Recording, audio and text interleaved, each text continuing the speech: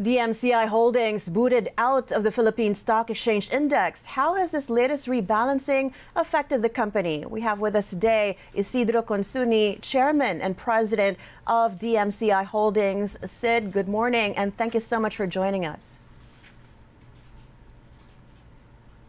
Hello. Hi, good morning, sir. Can you hear us? Yes, yes, yes. All right. So you, uh, you want to you want to find out? Yes. Uh, unfortunately, I, I do have to ask you about your reaction to DMCI share prices having fallen ever since news of the PSEI rebalancing. Um, what, do you, what are your um, thoughts moving forward?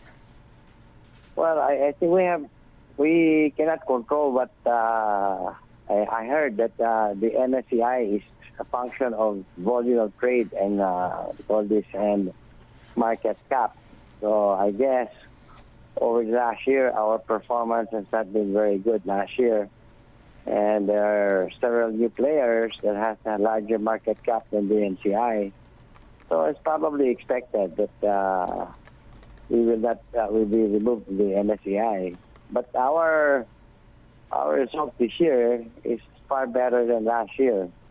So uh, I guess it's time to buy uh, our share, I guess, because uh, it's a bargain considering the PEs that we have now, very depressed PEs.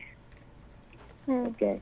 That's right. Uh, your uh, earnings report just came out this morning. We're still in the middle of second quarter earnings reports. DMCI, of course, is interest in real estate, construction, power, and mining. Your um, profit is higher by 269% to 54 billion pesos in the second quarter and grew fivefold to 9.5 billion pesos in the first half. To what do you attribute this growth, sir? Uh, first of all, uh, the commodity price has been very good. Uh, coal prices are all-time high. Nickel prices have been very good, and uh, together with the high commodity prices, our production volume has also been very good also, despite the fact that we have a seepage issue in Semirara. And uh, the NCI Homes also registered uh, quite a good uh, quite a good performance uh, considering that uh, a lot of we started recognizing revenues on sales made in previous years. So I think almost all our uh, almost all our businesses have done very well. Even during the pandemic, uh, Maynilad has been able to keep its profitability constant. And uh, maybe it's only DMCI construction that has suffered a little bit because of the additional costs incurred because of the pandemic. But uh, overall, uh, almost all our businesses have done very well. Thank you. That's right. Uh, going through your annual stockholders meeting last May 21, 2021, we see that uh, you had been expecting to start recovery of your businesses by 2023. What do you is this still the right projection? And uh, do you think uh, what do you think might be the way forward for a strong recovery? I, I think I think the real estate, uh, although our our revenue, our uh, I mean, our income this year has been good, our sales has been maybe 30% below pre-pandemic level, sales and reservation. So we don't expect that to to improve very well this year.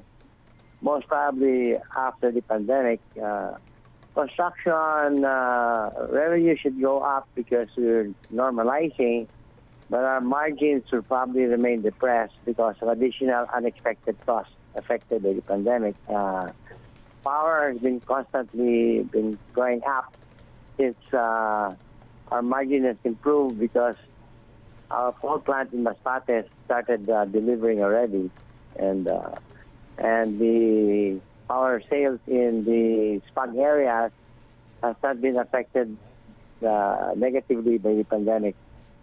Mm-hmm. Okay. Right. So is 2023 still the time that you expect uh, recovery for all your businesses? Yes, yes. I think the last time we will recover will probably be uh, real estate. Mm-hmm. But uh, if the uh, if the commodity prices remain at this level, we expect the balance of the years to be very good also. and most probably next year also should be okay, except for real estate, I guess. Well, government's flagship infrastructure list now has 112 projects worth a total of 4.7 trillion pesos. How many will be will DMCI be participating in? Well, we've been bidding for quite a few uh, ADB funded sections, but I don't think we won in any of them. Uh, it's been quite competitive. We expect better results with the JICA projects on the subway. We, may, we expect to win some some of them. Uh, other than that, uh, I don't know what to expect. Uh, almost all the PPP, almost all the build build build projects in the government are, are quite challenging because it's open to international competition. Well, DMCI shares reached a 52-week high on July 5, uh, 690 apiece. There was a report, and, and I'm, I'm sorry that I have to ask you about this, but uh, your siblings and investment firm had started buying up shares starting January when the share price was as low as for 81, 4 pesos 81 apiece. To see share prices appreciate by about 40% in six months. Is there a basis to this story, and what might have been the objective of the accumulation of shares? Well, if you look at all the shares in the Philippine Stock Exchange, uh, I think our dividend yield, mar- uh, yield over market price, is still very attractive, even at today's market uh, price. So, the, so we think that uh, we're getting a yield of above 10%, cash yield of above 10%, even at today's prices which is uh, far better than most uh, issues in the market. So we think even from a dividend yield, it's still a buy from us. So a lot of us are still buying the shares.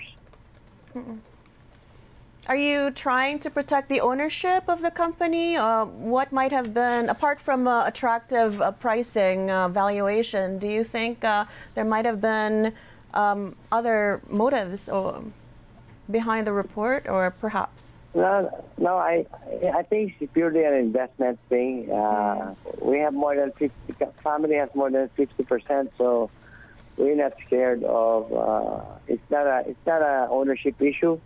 It's more an investment yield issue. All right. Uh, DM, DM Consunji, of course, uh, recently completed two, major infrastructure projects the Skyway Stage 3 and LRT 2 East Extension.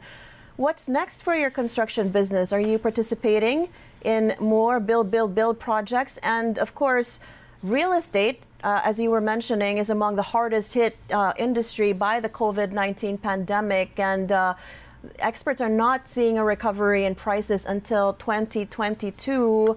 Have you already, are you prepared for this kind of outlook for DMCI homes? Yes, yes. I think from an operational point of view, DMCI Homes has the capacity to build more and build faster.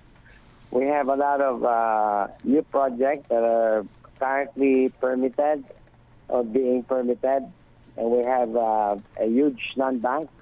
It's good for several years.